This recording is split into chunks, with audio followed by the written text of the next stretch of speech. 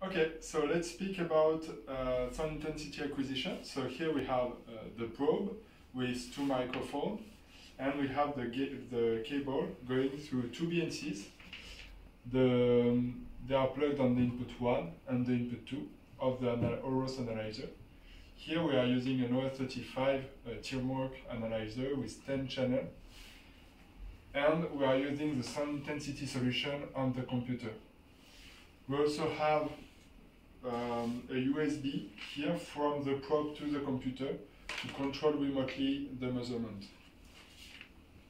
For the measurement, we use a rotating machine with uh, one uh, electric motor and one gear here. And we made a grid at the top to define all the steps, every steps of our measurement. Okay, so regarding the probe, we have here we can see the two microphones, here and here, and between them we have the spacer.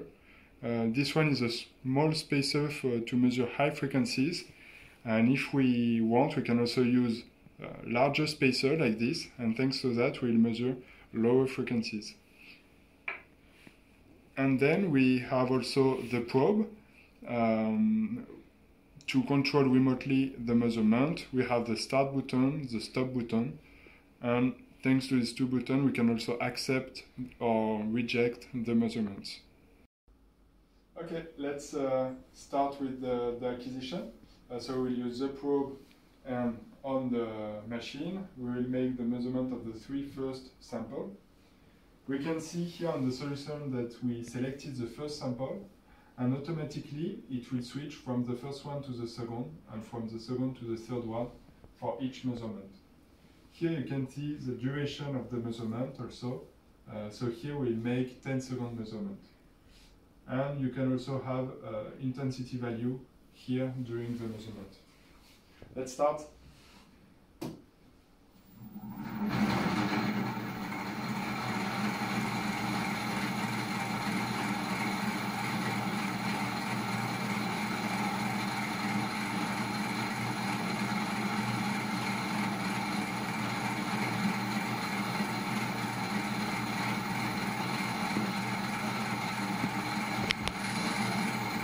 Okay, so here I accept the first measurement thanks to the start button. It switches automatically on the second sample and I start the second point.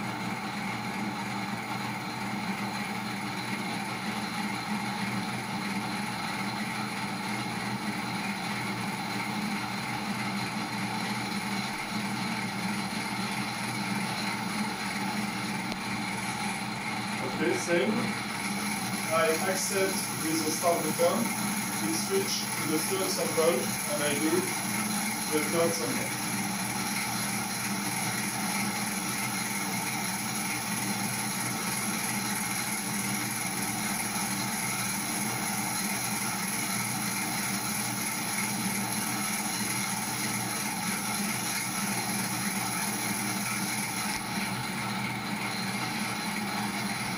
Okay, so here we made the three first measurements. We can see that for the first sample we had 78.4 dB in intensity. For the second one we got 78.7 and for the third one we got 79.2.